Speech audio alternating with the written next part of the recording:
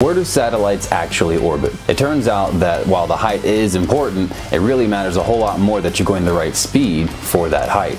Low Earth orbit satellites fly just a few hundred kilometers above us. They're moving around 7.8 kilometers a second or 18,000 miles per hour. At this speed, these satellites typically can orbit Earth once every 90 minutes. Look higher up and you'll find geostationary orbit. This is around 36,000 kilometers above the surface of Earth. Satellites in this orbit move slower than those at low Earth orbit.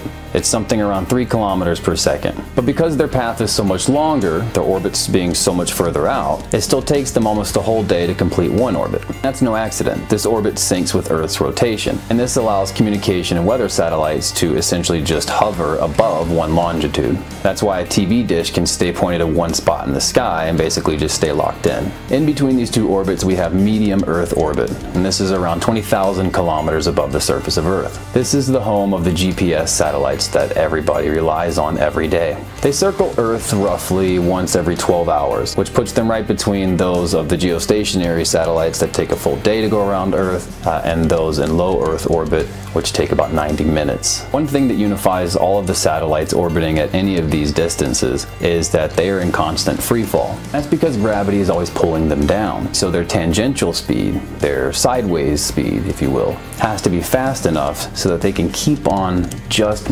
missing Earth. So maintaining a particular orbit isn't just about getting to the right altitude, it's also about making sure that you can continue to free fall around Earth. But here's the next question. What if one of these satellites got going too fast? That's next. Cheers.